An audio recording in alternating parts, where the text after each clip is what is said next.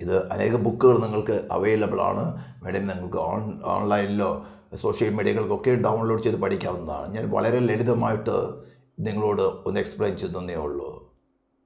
അതുകൊണ്ട് നാം ചിന്തിക്കുന്ന ഓരോ ചിന്തകളും ഇപ്പോൾ നിങ്ങൾ ക്ലാസ് കേട്ടുകൊണ്ടിരിക്കുമ്പോൾ തന്നെ ഇത് കേട്ടുകൊണ്ടിരിക്കുമ്പോൾ തന്നെ നിങ്ങളുടെ ചിന്താമണ്ഡലത്തിൽ കൂടെ കടന്നു പോകുന്ന ഓരോ വികാരങ്ങളും നിങ്ങൾ എതിന് അതിനെ നിങ്ങളുടെ മനസ്സാക്ഷി നിങ്ങൾക്ക് എങ്ങനെ വിവേചിച്ചു തരുന്നതും നിങ്ങൾ എങ്ങനെ പ്രവർത്തിക്കുന്നു? തുടർന്ന് കേൾക്കണമോ? വേണ്ടയോ?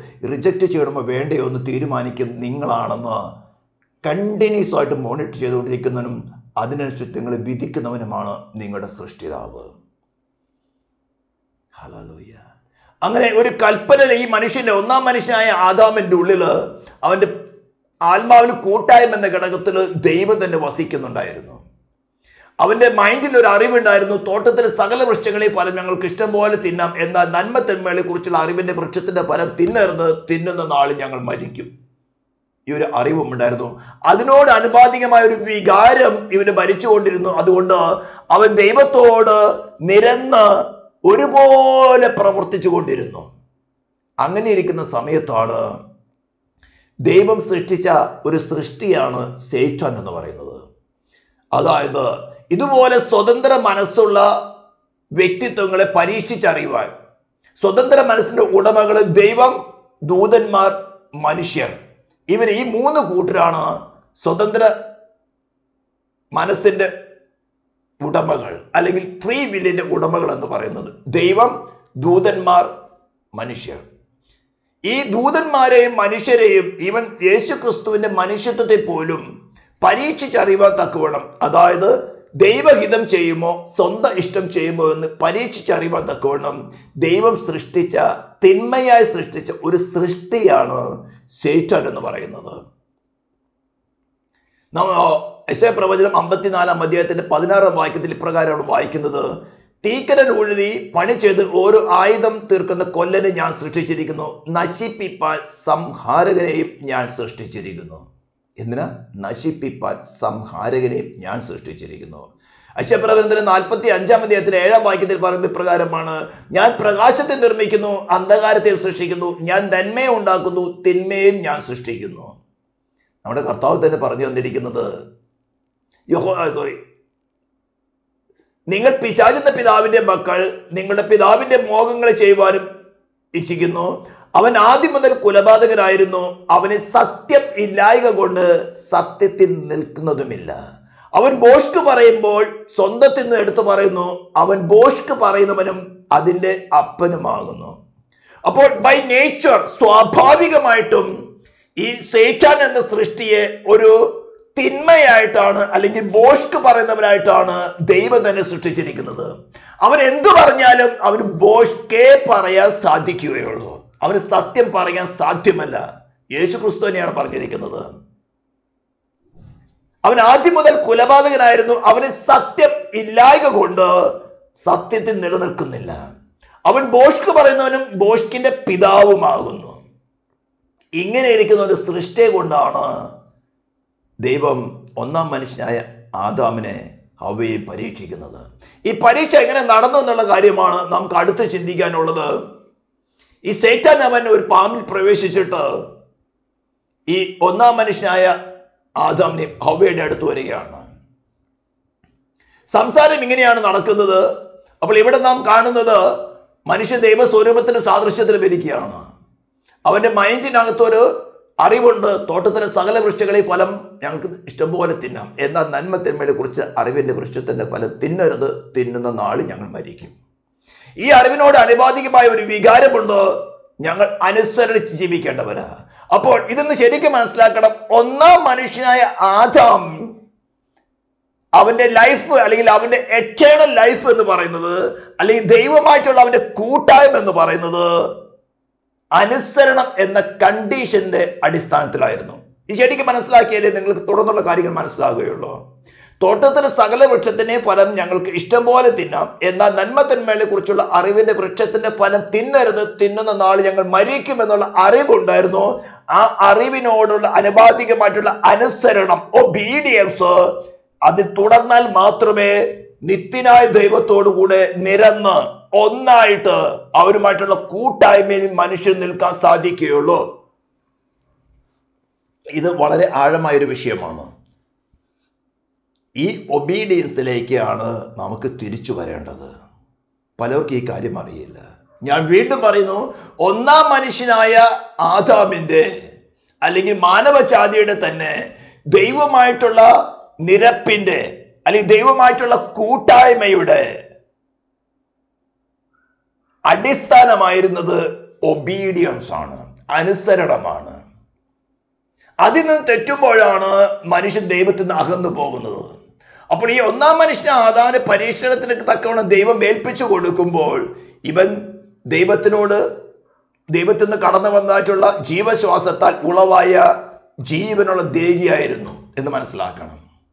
അവന് ദൈവം വസിക്കുന്നുണ്ടായിരുന്നു. ദൈവം കൊടുത്ത കൽപ്പന അതിന് അവന് ഹൃദയത്തിലുണ്ടായിരുന്നു. അതിനോട് അതിമാതികമായിട്ടൊരു വികാരമുണ്ടായിരുന്നു. അവന്റെ ഫ്രീ വില്ലിൽ ദൈവമായിട്ട് അവൻ നിരന്നു പോവുകയായിരുന്നു. അങ്ങനെ ഇരിക്കുന്ന സമയത്താണ് സേറ്റൻ വന്ന് ചോദിക്കുന്നത് യഹോവയായ ഉണ്ടാക്കിയ യഹോവയ ദൈവം ഉണ്ടാക്കിയ എല്ലാ കാട്ടുജന്തുക്കളെക്കാളും പാമ്പ് കൗശല്യമേറിയതായിരുന്നു അത് സ്ത്രീയോട് തോട്ടത്തിലെ യാതൊരു വൃക്ഷത്തിന്റെ ഫലം നിങ്ങൾ തിന്നരുതെന്ന് ദൈവം വാസ്തവമായി കൽപ്പിച്ചിട്ടുണ്ടോ? എന്ന് ചോദിച്ചു സ്ത്രീ പാമ്പിനോട്.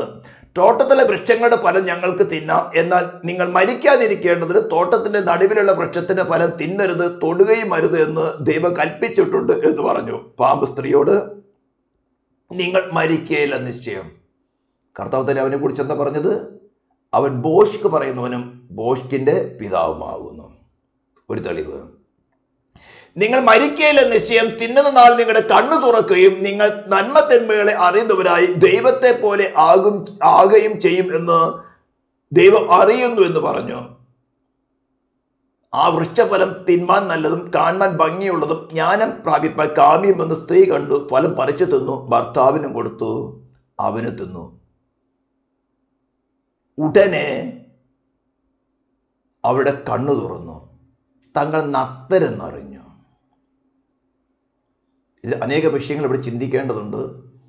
നമ്മുടെ പ്രധാന വിഷയത്തിലേക്ക് അതായത് ദൈവത്തിനും മനുഷ്യർക്കും ഇടയിൽ മധ്യസ്ഥായി പ്രവർത്തിപ്പാൻ മനുഷ്യനായ ക്രിസ്തുവേശു മാത്രമേ ഉള്ളൂ എന്ന് തെളിയിക്കൂ എന്നുള്ളതാണ് ഈ ഒരു എപ്പിസോഡുകൾ ആഗ്രഹിക്കുന്നത്.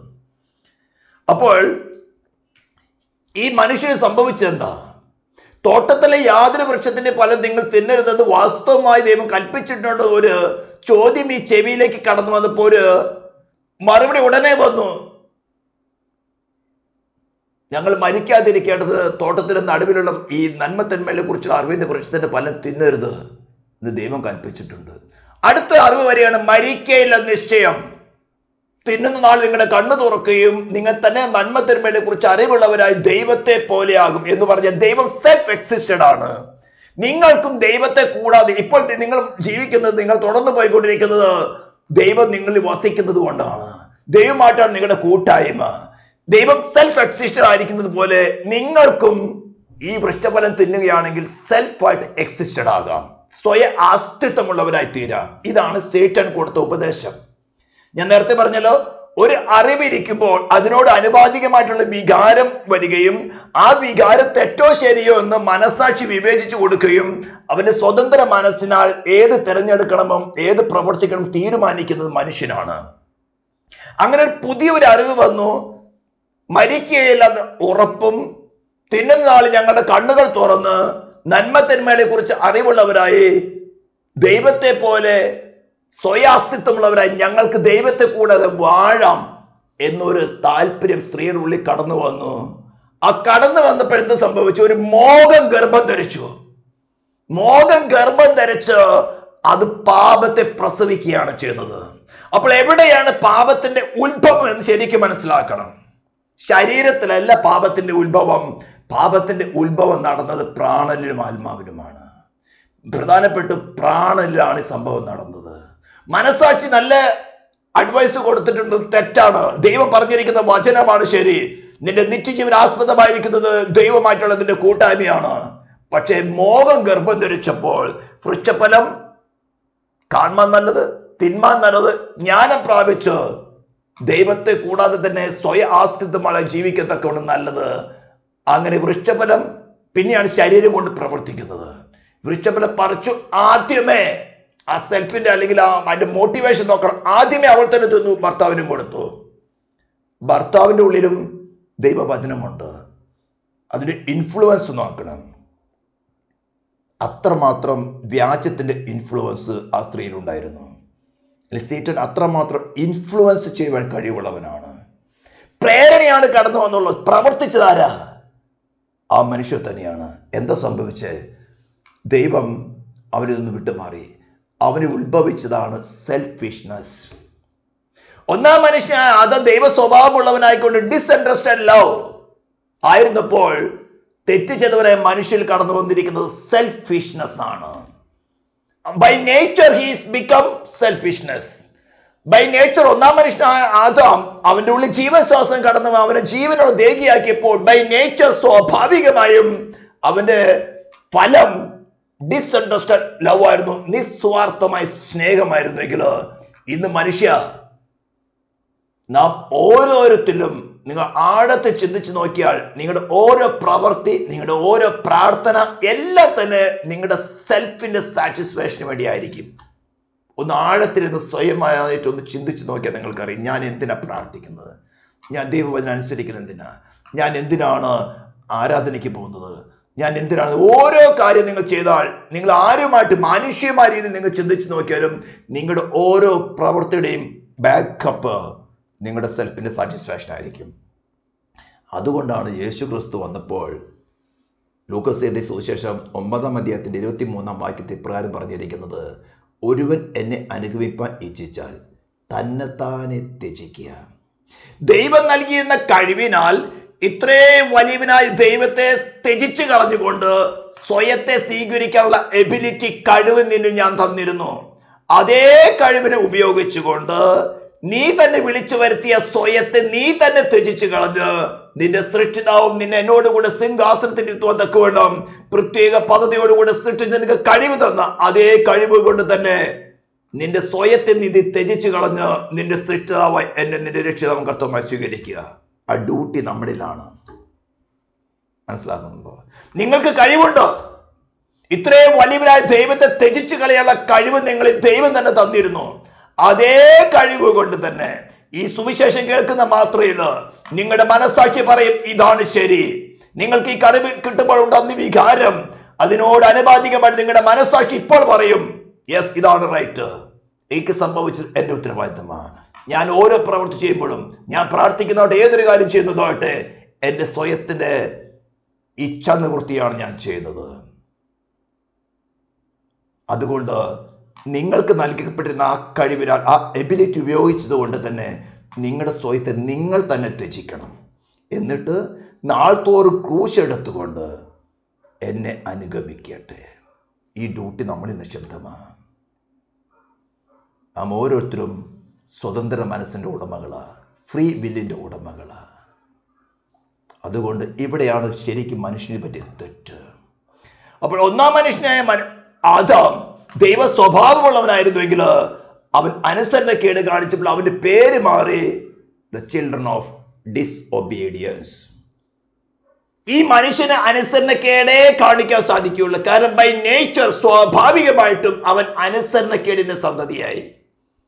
അതുകൊണ്ട് തന്നെ ഫെസയിലെ രണ്ടാം അധ്യായത്തിന്റെ ഒന്ന് രണ്ട് വാക്യങ്ങളെ പറയുന്നത് പ്രകാരമാണ് അനുസരണക്കേടിന്റെ മക്കളിൽ വ്യാപരിക്കുന്ന ആത്മാവിന് അധിപതിയായവരെയും അനുസരിച്ചു പോന്നു.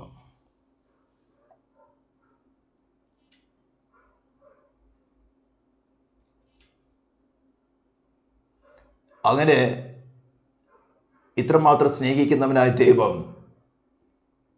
ഏതും തോട്ടത്തിലേക്ക് കടന്നു വരികയാണ് ഇതെല്ലാം അറിയുന്നവനായ ദൈവം.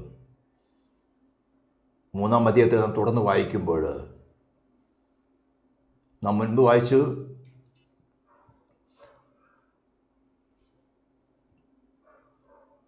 ഉടനെ ഇരുവരുടെയും കണ്ണു തുറന്നു. ഞങ്ങൾ തങ്ങൾ നഗ്നരെന്നറിഞ്ഞു. അത്തിയില കൂട്ടിത്തുന്നി തങ്ങൾക്ക് അരയാട ഉണ്ടാക്കി. തങ്ങളാൽ വെളിപ്പെട്ട് വന്നതായിട്ടുള്ള തങ്ങളുടെ പാപത്താൽ വെളിപ്പെട്ട് വന്നതായിട്ടുള്ള നഗ്നത മറയ്ക്കുവാൻ തങ്ങളുടെ തന്നെ ഒരു ഉപായ മാർഗം ഉപയോഗിച്ചു. ഇന്ന് കേരളത്തിൽ മിക്കവർക്ക് അത്തിയില കാണാൻ സാധിക്കും. അത്തി അവിടെ എവിടെയൊക്കെയുണ്ട്? വലിയ ഇലകളാണ്. നല്ല വലിപ്പമുള്ള മറ്റ് കേരളത്തിലുള്ള വൃക്ഷങ്ങളെ കാളൊക്കെ വലിപ്പമുള്ള ഇലകളാണ് അത്തിയില. ഒരു മൂന്ന് നാല് ഇല കൂട്ടി തന്നെ അത്യാവശ്യം അരയാടം മറയ്ക്കാൻ സാധിക്കും. അപ്പൊ തങ്ങളുടെ അനുസരണക്കേടിനാൽ വെളിപ്പെട്ടു വന്നിട്ടുള്ള നഗ്നതയെ മറയ്ക്കുമെന്നൊക്കെയാണ് തങ്ങൾ തന്നെ ചില അത്തിയിലുള്ള കൂട്ടിത്തുന്നി നഗ്നത മറയ്ക്കാൻ നോക്കി. നീ ഒരു പക്ഷെ വലിയ വലിയ സമൂഹത്തിന്റെ വലിയ വലിയ മതത്തിന്റെ വലിയ ഡിനോമിനേഷൻ എന്ന അത്തിയില കൂട്ടിത്തുന്നി നിന്റെ ഹൃദയത്തിന്റെ അന്തരന്ത്യങ്ങളെ പോലും അറിയുന്നവനായി ദൈവത്തിൽ നിന്ന് മറയ്ക്കാൻ നീ ശ്രമിക്കുന്നുണ്ടായിരിക്കാം. ഇമ്പോസിബിൾ അഗ്നിജ്വാലിക്കത്തുന്ന കണ്ണുള്ളവനായ ദൈവത്തിന് മുമ്പിൽ നിന്ന് മറയ്ക്കുവാൻ അത്തിലയാകുന്ന ഡിനോമിനേഷൻസിനോ നിന്റെ യുക്തിക്കോ നിന്റെ മനുഷ്യ ബുദ്ധിക്കോ നിന്റെ അറിവിനോ ഒന്നിനാലും സാധ്യമല്ല. നിന്റെ മനസ്സിലെ ചിന്തകളെയും വിചാരങ്ങളെയും വിധിക്കുന്ന ഒരു ദൈവമുണ്ടെന്ന് ഇപ്പോൾ മനസ്സിലാക്കിക്കൊള്ളുക. അങ്ങനെ ദൈവം ഇതെല്ലാം അറിഞ്ഞിട്ട് വെയിലാറിയപ്പോൾ യഹോവയായ ദൈവം തോട്ടത്തിൽ നടക്കുന്ന ഒച്ച അവൻ കേട്ടു. മനുഷ്യനും ഭാര്യ യഹോവയായ ദൈവം തങ്ങളെ കാണാതിരിപ്പ തോട്ടത്തിലെ വൃക്ഷങ്ങളുടെ ഇടയിൽ ഒളിച്ചു. Can anyone hide from God? ഇത്രയും വലിയവനായ ദൈവം ഇവരെ തെറ്റ് ചെയ്ത ഉടനെ ശിക്ഷിക്കേണ്ടതാണ്. ഇതേ ദൈവം തന്നെ മനുഷ്യർക്ക് മുമ്പുണ്ടായിരുന്ന ഒരു ഭരണകൂടത്തിൽ അപകാര്യങ്ങൾ നമ്മൾ സേറ്റാന്റെ കിങ്ഡത്തെ കുറിച്ച് പഠിപ്പിക്കുന്ന ക്ലാസ്സിൽ വെളിപ്പെടുത്തിയിട്ടുണ്ട്. ലൂസിഫർ തെറ്റ് ചെയ്തപ്പോൾ അഭിഷക്തനായ ലൂസിഫർ ആയിരുന്നു. ഇതേപോലെ ഫ്രീ ബില്ലിന്റെ സ്വതന്ത്ര മനസ്സിന്റെ ഉടമയായിരുന്നു. അവൻ തെറ്റ് ചെയ്തപ്പോൾ ദൈവം അവനെ ഉടനെ ശിക്ഷിക്കുകയാണ് ചെയ്തത്. എരുമപ്രവത്തിന്റെ നാലാം അധ്യായത്തിൽ ഇരുപത്തിമൂന്നാം വാക്യത്തിൽ എഴുതിയിരിക്കുന്ന പ്രകാരമാണ്. അവർക്ക് വേണ്ടി ഒരു പ്രാശ്യത്വം ഒരുക്കിയില്ല. എന്നാൽ അതേപോലെ ഒരു ഫ്രീ ബില്ലിന്റെ ഉടമയായ മനുഷ്യൻ തെറ്റ് ചെയ്തപ്പോൾ ദൈവം വളരെ സാവധാനത്തിൽ കടന്നു എന്ന് ചോദിക്കുക ആദമേ നീ എവിടെയാ? യഹോയ ദൈവം മനുഷ്യനെ വിളിച്ചു നീ എവിടെയൊന്ന് ചോദിച്ചു? ഈ ശബ്ദം കേൾക്കുന്ന മനുഷ്യ ഈ വചനപ്രകാരം നീ എവിടെയെന്ന് നിന്റെ മനസ്സാക്ഷി ഇപ്പോൾ നിന്നോട് പറയും. ഏത് വൃക്ഷത്തിന്റെ ഏത് ഡിനോമിനേഷന്റെ ഏത് ഉപദേശത്തിന്റെ ഏത് പാപത്തിന്റെ മറ നിന്റെ യുക്തി കൊണ്ടോ ഡിനോമിനേഷൻ ഉപദേശങ്ങൾ കൊണ്ടോ മതത്തിന്റെ ഉപദേശങ്ങൾ കൊണ്ടോ പിടിച്ചുകൊണ്ട് നീ മറഞ്ഞിരിക്കുന്നുവെന്ന് ഈ വചനം കേൾക്കുമ്പോൾ നിന്റെ മനസ്സാക്ഷി വ്യക്തമായിട്ട് നിനക്ക് വെളിപ്പെടുത്തി തരും. നിനക്ക് മറഞ്ഞിരിക്കാൻ സാധ്യമല്ലാതെ വേണം വെളിപ്പെടുത്തി തരും. അത് നിന്റെ ഓർമ്മ പുസ്തകത്തിൽ എഴുതിയിരിക്കും. എഴുതിയിരിക്കുന്നത് മാത്രമല്ല നിങ്ങൾക്കറിയാമോ സയൻസ് പഠിപ്പിക്കുന്നത് നമ്മുടെ ശരീരത്തിൽ അനേക കോടിക്കണക്കിന് സെൽസ് ഉണ്ട്. കോടിക്കണക്കിന്. ഓരോ സെല്ലിനകത്തും ഏകദേശം ആവറേജ് ഒരു one point five G B data ശേഖരിക്കാവുന്ന video തൊക്കെ ശേഖരിക്കാവുന്ന കഴിവ് ഓരോ സെല്ലിനുമുണ്ട് അഥവാ ഏതെങ്കിലും സെല്ലുകൾ ഏതെങ്കിലും മുറിവുകൾ വന്ന് നഷ്ടപ്പെടുകയോ എന്തെങ്കിലും ഡാമേജ് വന്നാൽ ഇമ്മീഡിയറ്റ് ആയിട്ട് അതിനോട് തുല്യമായ സെല്ലുകളെ ഡിസൈൻ ചെയ്യാതെ നിർമ്മിക്കാനുള്ള കഴിവും നമ്മെ സൃഷ്ടിച്ചവർ ദൈവം നിർമ്മിച്ചിട്ടുണ്ട്. അപ്പൊ കോടിക്കണക്കിന് ജി ബി വരുന്ന വീഡിയോ എന്ന ഓർമ്മ പുസ്തകം നമ്മുടെ ഉള്ളിൽ തന്നെ ദൈവം സൃഷ്ടിച്ചിട്ടുണ്ട്. ഈ കേൾക്കുന്ന ശബ്ദം ആരിൽ നിന്ന് കേട്ടു? എന്തുകൊണ്ട് കേട്ടു? നീ എങ്ങനെ അതിനെ സ്വീകരിച്ചു? എങ്ങനെ റിജക്ട് ചെയ്തു? എന്ത് കാരണം കൊണ്ട് റിജക്ട് ചെയ്തു എന്നുള്ളത് ഇപ്പോൾ നിന്റെ മനസ്സാക്ഷിയിൽ റെക്കോർഡാവും അതാണ് യേശു ക്രിസ്തുവിന്റെ മുമ്പിൽ ഓപ്പൺ ആകുന്നത്. നിനക്ക് മറുപടി പറയാൻ കഴിവില്ലാതെ വണ്ണം അത് ഓപ്പൺ ആകും. എന്ന താഴ്ത്ത് പഠിക്കും നമുക്ക് മനസ്സിലാക്കാൻ സാധിക്കും. അതുകൊണ്ട് ഏത് വൃക്ഷത്തിന്റെ പുറകിൽ ഏത് അത്തിയിലെന്ന ഡിനോമിനേഷൻ മതമോ ഏതെല്ലാം പിടിച്ചിരിക്കുന്നുവോ ഇതൊരു മതത്തിന്റെ ഉപദേശമല്ല ഞാൻ പറയുന്നത്. നമ്മെ സൃഷ്ടിച്ച നിന്നെ സൃഷ്ടിച്ച നിന്റെ ദൈവത്തിന്റെ വചനമാണ് നിന്നോട് പറയുന്നത്. നിന്റെ നന്മയ്ക്ക് വേണ്ടി. ഇങ്ങനത്തെ മനുഷ്യൻ അനുസരണക്കേട് കാണിച്ച മനുഷ്യന് പിന്നെ അവിടെ നിൽക്കാൻ സാധ്യമല്ല. അങ്ങനെ ഈ നിരപ്പിക്കുക എന്ന സബ്ജക്റ്റാണ് നാം സംസാരിച്ചു കൊണ്ടിരിക്കുന്നത്. അങ്ങനെ തെറ്റ് ചെയ്ത് ദൈവത്തിൽ നിന്ന് അകന്നു പോയ മനുഷ്യൻ ഇവരിനി വീണ്ടും നിരക്കണമെങ്കിൽ ചില സംഭവങ്ങളുണ്ട്. അതിന്റെ ഫസ്റ്റ് റെവലേഷനാണ് സ്ത്രീയുടെ സന്തതിയായി വരുന്നവൻ സൈറ്റം ചെയ്ത ഈ പ്രവൃത്തിയെ തകർക്കുമെന്ന് പറയാനൊക്കെ വേണം ഉൽപ്പത്തിയുടെ പുസ്തകം മൂന്നിന്റെ പതിനഞ്ച് ദൈവം വെളിപ്പെടുത്തിയത് ഞാൻ നിനക്കും സ്ത്രീക്കും നിന്റെ സന്തതിക്കും അവളുടെ സന്തതിക്കും തമ്മിൽ ശത്രുത്വം ഉണ്ടാക്കും. അവൻ നിന്റെ തലയെ തകർക്കും നീ അവന്റെ കുതിക്കാൽ തകർക്കും. അതായത് സ്ത്രീയുടെ സന്തതിയായി ജനിക്കുന്നവൻ സേറ്റന്റെ തലയെ തകർത്തുകൊണ്ട് മാനവജാതിയെ ദൈവത്തോട് നിരപ്പിക്കാൻ തക്കവണ്ണം ആവശ്യമായ കാര്യങ്ങൾ ചെയ്തെടുക്കുമെന്ന് യേശു ക്രിസ്തുവിനെ കുറിച്ചുള്ള ആദ്യത്തെ വെളിപ്പാട് പ്രവചനം ദൈവം വെളിപ്പെടുത്തുകയുണ്ടായി. അതിനുശേഷം താൻ എവിടെ ജനിക്കുമെന്നും എങ്ങനെ ജനിക്കുമെന്നും കന്യയായി ജനിക്കുമെന്ന് കന്യയിൽ നിന്നും ജനിക്കുമെന്നും എന്ത് പേരിടണമെന്നും എങ്ങെന്തെല്ലാം തന്റെ ജീവിതത്തിൽ നടക്കണമെന്നുള്ള കാര്യങ്ങളെല്ലാം തന്നെ വ്യക്തമായിട്ട് ഓരോരോ കാലഘട്ടങ്ങളിൽ ദൈവം വെളിപ്പെടുത്തിക്കൊണ്ടേയിരുന്നു. എന്നാൽ ഈ പാപം ചെയ്ത് ദൈവ തേജസ് നഷ്ടപ്പെട്ട മനുഷ്യന് ഇനി ആ തോട്ടത്തിനകത്ത് വസിപ്പാൻ അവൻ തന്നെ അയോഗ്യനായി തീർന്നു. ഇങ്ങനെ അയോഗ്യനായി തീർന്ന ദൈവ മനുഷ്യൻ അവിടെ ജീവവൃക്ഷത്തിന്റെ ഫലം കൊടുക്കുന്ന വൃക്ഷവുമുണ്ട്. അതിലേക്ക് കൈനീട്ട് അതിലേക്ക് തക്കവണ്ണം ദൈവം അവനെ തോട്ടത്തിൽ നിന്ന് പുറത്താക്കി. ദൈവ സാന്നിധ്യത്തിൽ നിന്ന് പുറത്താക്കി. ദൈവമായിട്ടുള്ള കൂട്ടായ്മ നിന്ന് പുറത്താക്കി. നന്മ നിറഞ്ഞിരിക്കുന്ന ഏതും തോട്ടത്തിൽ നിന്ന് തിന്മ ചെയ്തവനെ പുറത്താക്കി കളഞ്ഞു. എന്നിട്ട് ദൈവം അവൻ തിരിച്ചതിൽ കയറാതിരിക്കത്തക്കവണ്ണം ദൈവം അവിടെ ചില പ്രവൃത്തി ചെയ്യുന്നതാണ് ഉൽപ്പത്തിയുടെ പുസ്തകം മൂന്നാം അധ്യായത്തിന്റെ ഇരുപത്തിനാലാം വാക്യത്തിൽ നാം വായിക്കുന്നത്. ഇങ്ങനെ അവൻ മനുഷ്യനെ ഇറക്കി കളഞ്ഞു. ജീവന്റെ വൃക്ഷത്തിലേക്കുള്ള വഴി കാപ്പാൻ അവൻ ഏതൻ തോട്ടത്തിന് കിഴക്ക് കെരുവുകളെ തിരിഞ്ഞുകൊണ്ടിരിക്കുന്ന വാളിന്റെ ജ്വാലയുമായി നിർത്തി. എന്ന് പറഞ്ഞാൽ ആരെങ്കിലും വല്ല വിധേനയും ഇതിലേക്ക് കയറാൻ നോക്കി കഴിഞ്ഞാൽ വാൾ അവനെ ഛേദിച്ചു കളയും. ഈ വാൾ സ്വയമായി തന്നിൽ ഏറ്റെടുത്തുകൊണ്ടാണ് യേശു ക്രിസ്തു നമുക്ക് വേണ്ടി ഈ ജീവവൃക്ഷത്തിലേക്കുള്ള വഴി തുറന്നു തന്നത്. ഇതിന് കുറച്ച് ആഴം പഠിക്കേണ്ടതുണ്ട്. അപ്പോൾ ഏതൻ തോട്ടത്തിൽ ദൈവം തന്നെ ആക്കിയിരുന്ന തോട്ടം ദൈവമാണ് നിർമ്മിച്ചത്. അവന് ആവശ്യമുള്ള സകല കാര്യങ്ങളും അവൻ ചോദിക്കുവാൻ കഴിവുണ്ടാകുന്നതിന് മുമ്പേ തന്നെ തന്റെ പദ്ധതി പൂർത്തിയാക്കാൻ അവൻ എന്തെല്ലാം കാര്യങ്ങൾ ആവശ്യമാണോ അതെല്ലാം തന്നെ തോട്ടത്തിന് നടുവിൽ ദൈവം തന്നെ മുളപ്പിച്ചിരുന്നു. ഇന്നും അങ്ങനെ തന്നെയാ.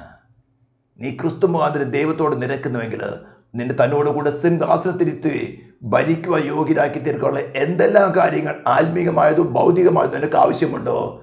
It is free gift free gift ദാനമായി നിനക്ക് തരാൻ ദൈവം മതിയായവനാണ് നീ ചോദിക്കുന്നതിന് മുമ്പേ നിനക്ക് ഇന്നത് ആവശ്യം എന്ന് അറിഞ്ഞുകൊണ്ട് നിനക്ക് വേണ്ടി പ്രവർത്തിക്കുന്നവനാണ് നിന്റെ സ്നേഹിതനായ ദൈവം. ഈ ദൈവത്തോട് നിങ്ങളെ മാനവജാതി നിരപ്പിക്കുന്ന ശുശ്രൂഷയാണ് ഈ ഏഴുകളായ ഞങ്ങളെ ദൈവം ഏൽപ്പിച്ചിരിക്കുന്നത്. ഒരു ഡിനോമിനേഷനോട് ചേർക്കുവാനോ പെന്തിക്കോസ് ചേർക്കുവാനോ ക്രിസ്ത്യാനിയാക്കുവാനുള്ള ഒരു ശുശ്രൂഷയല്ല നിങ്ങളുടെ ദൈവത്തിൽ നിന്ന് നിങ്ങളുടെ പാപം കൊണ്ട് തന്നെ നിങ്ങൾ തന്നെ അകന്നു പോയിരിക്കുന്നതിന് നിങ്ങൾക്കും ദൈവത്തിന് തമ്മിൽ സ്വമയായിട്ട് നിരക്കാൻ സാധിക്കാത്തത് കൊണ്ട് ഈ നിരപ്പിന്റെ ശുശ്രൂഷ നിങ്ങൾക്ക് പറഞ്ഞു തന്ന് യേശു ക്രിസ്തു നിങ്ങൾക്ക് ആരാണെന്ന് വെളിപ്പെടുത്തി തന്ന് നിങ്ങളെ നിങ്ങളുടെ സൃഷ്ടിതാവായ ദൈവത്തോട് നിരപ്പിക്കുന്ന ഒരു ശുശ്രൂഷയാണ് ഏഴകളായി ഞങ്ങളെ ദൈവം ഏൽപ്പിച്ചിരിക്കുന്നത്. അതാണ് രണ്ട് കുറിന്തിർ അഞ്ചിന്റെ പത്തൊമ്പതാം വാക്യത്തിൽ അപ്പസ്തോലെ പൗരസ് പറയുന്നത് ദൈവം ലോകത്തിന് ലംഘളെ പെന്തിക്കോസുകാർക്കെന്നോ ക്രിസ്ത്യാനികൾക്കെന്നല്ല പറഞ്ഞിരിക്കുന്നത്. ലോകത്തിലെ സകല മനുഷ്യരുടെയും ലംഘനങ്ങളെ കണക്കിടാതെ ലോകത്തെ ക്രിസ്തുവിൽ മറ്റേതൊരു മധ്യസ്ഥനോടെന്നല്ല പറഞ്ഞിരിക്കുന്നത്. സ്പെസിഫിക് ആയിട്ട് പറഞ്ഞിരിക്കുന്നത് ക്രിസ്തുവിൽ തന്നോട് നിരപ്പിച്ചു പോന്നു. ഈ നിരപ്പിന്റെ വചനം ഞങ്ങളുടെ പക്കൽ ഭരമേൽപ്പിച്ചിരിക്കുന്നു. ഇതുമായിട്ടാണ് ഞാൻ ഇന്ന് നിങ്ങളുടെ മുമ്പിൽ നിൽക്കുന്നത്. നിങ്ങളെ മതം മാറ്റുവാനോ മറ്റൊരു മൊറാലിറ്റി പഠിപ്പിക്കുവാനോ ഒരു സാൻമാർഗികത പഠിപ്പിക്കുവാനോ എനിക്ക് കഴിവില്ല. എനിക്കങ്ങനൊരു നിയോഗമില്ല. പക്ഷെ ഒരു നിയോഗം എനിക്കുണ്ട്. നിങ്ങളെ നിങ്ങളുടെ അസൃഷ്ടിതാവായ ദൈവത്തോട് ക്രിസ്തുവിൽ നിരപ്പിപ്പാൻ സ്വർഗത്തിലും ഭൂമിയിലും സകല അധികാരവും എനിക്കുണ്ട്.